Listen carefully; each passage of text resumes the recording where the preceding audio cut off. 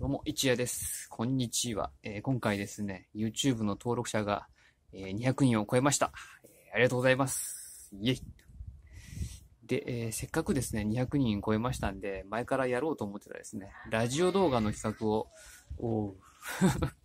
やろうと思ってまして、まあ、10分ぐらいなんか喋ってみようかなと思ってます。今ここはですね、うちのベランダで、えーまあ、撮ってます。こんな感じですね。まあ、基本はこの定点のまま撮ろうかなと思ってます。で、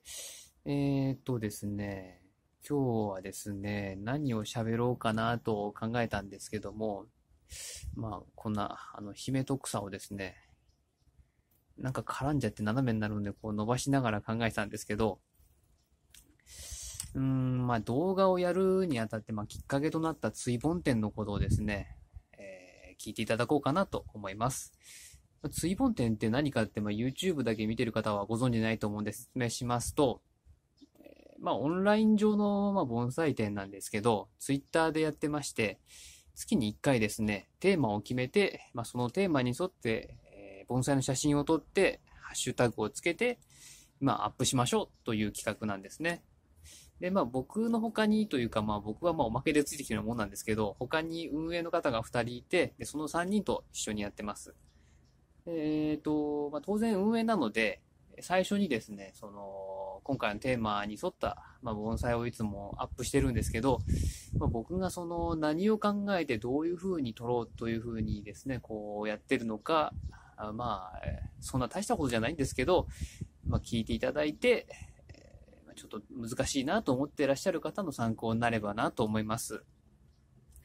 まあ僕はですね、ちょっとまあ棚をこうざーっと見てもらってわかる通りですね、えーまあ小さいものがメインで、で、かつですね、その、本当の展示会の写真みたいに正面から撮って、あの、絵になるような盆栽って基本的に持ってないんですよ。だから、まあどうするかっていうと、まあこうこういう感じでですね、こう、一部分がこう思いっきり大きく映ってごまかせるようなとかですね。まあ、そういう感じを狙ってこう撮るんですけど、まあ撮るときにはですね、やっぱ、まあ、カメラで撮ったときに、まあ綺麗に見えるようになってるかってことですね。なんか変な空間が空いて、なんか寂しい感じになってないかとか、あのー小さい木とかですね、こう、思いっきり遠くで撮るとやっぱりこう、物足りないので、できるだけこうこういう感じで撮ってみたりとかですね、ま、するわけですよ。太く見えるようにとか、よく見えるように。で、その上で、うん、まあ、一応各テーマに沿った、まあ、風景をですね、その、一枚の写真の中に、その窓から見てその風景になってるような感じで、まあ、撮れてるかなっていうのを気にしてますかね。うーん、まあ、できるだけその奥行きがあるように、見えるようにって考えた結果、ほぼほぼ家の中だと余計なものがこう、まあ映っちゃうので、だいたいあの、あの角で撮ってるんですけど、あの角。あの角の向こう、えーまあ、畑と道しかないので、こう、抜けが良くてですね、写真はとっても撮りやすくて、まあ、そういうとこで撮ってますね。あんまりこう狭いとこで撮るとですね、ああいうとことか、後ろの背景がこう、もろに映っちゃうので、なんて言うんですかね、その壮大さがその表現できないというか、まあ、盆栽で表現できれば本当はいいんですけど、まあ、その辺が難しいところなんですよね。まあ、他の方はですね、その、いい盆栽持ってれば、それをメインにこう移していくとかってできると思うんで、それはそれで OK だと思うんですけど、あ、あとですね、うち、その、ちゃんと飾る用の、まあ、石飾り用の卓とか、まあ、台とか一切ないので、ご覧の通り。本当に何にもないので、まあ、それ以外のもので、家の中にあるもので、まあ、使えるものはないかなとこう考えて、こういろいろやってますね。よく使うの、この板ですね。よ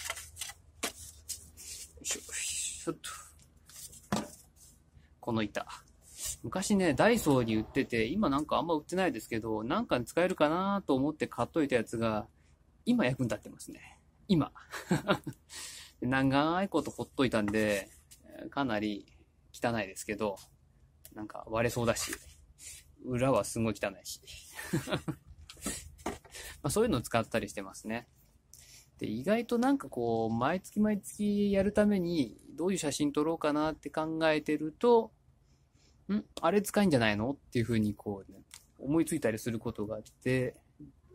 前回の場合だと、お菓子の箱ですかね。なんか仕事柄そういう手土産というか、お菓子を持ってきてくださる方が結構いるので、箱がですね、結構、なんていうんですか、和のお菓子だと、こう、盆栽にマッチするね、綺麗な柄だったりするんですよ。あのヨックモックとかだとね、全然その洋風なんで全然ダメなんですけど、あ、でもそれはそれで組み合わせ次第なのかな。うーん、まあそうか、組み合わせ次第か。できたりするんですけどね。そういうことを考えながら写真を撮って、で、まあ、できるだけその、みんなが見てて綺麗だなとか、あ、面白いなって思ってもらえるような形で、撮れてるように、まあ、すると。なんとかするっていう感じですかね。1枚撮るのに、まあ、撮る時間はだいたい15分とか、まあ、長くても30分ぐらいしかかけてないですけど、なかなかね、構想通りにうまく撮れないので、だいたい最初に思いついた感じにはなってないんですよね、毎回毎回。うーん、うまくいかないなと思ってる間に、なんかふとした瞬間、うーん、なんかいい具合なアングルになって、で、それもね、あの、一眼レフで撮ってるんですけど、あのデジタル一眼。あの昔のやつなので、そのデジタル一眼のモニター見ててもですね、わかんないんですよ。で、結局スマートフォンに移して、まあ、そうそう、結局スマホの方がね、液晶綺麗なんで、その時点で確認して使えるものを使って、で、どうしてもちょっとダメだなと思ったら露出ぐらいはいじって出してますね。まあ、そんな感じでしょうかね。うん。ね、だってほら、特になんかそのまま使えそうな感じのものないでしょ？うん。ね。そうなんですよ。だからそれをいかに組み合わせて、うまいこと、こう、小綺麗に見せるかっていうとこが、まあ僕のポイントですね。まあ、そんなとこでしょうかね。うん。そう、こんなもんなのでね。案外ね、そうそう使えるものがないんですよ。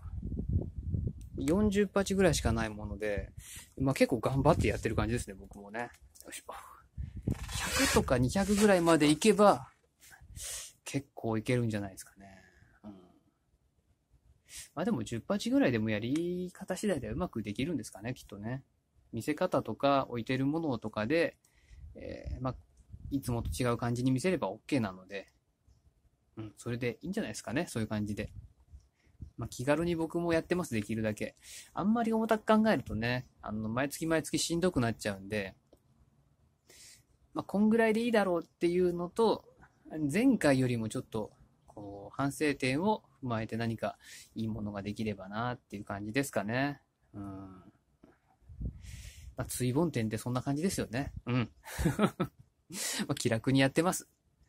まあ、あの、YouTube ご覧の方で盆栽持ってる方いらっしゃいましたら、ぜひですね、Twitter の方を見ていただいて、そういうのも参加していただければなと思います。まあ、とりあえず今日はこんな感じで、まあ、そのうちね、あの、ラジオ動画を、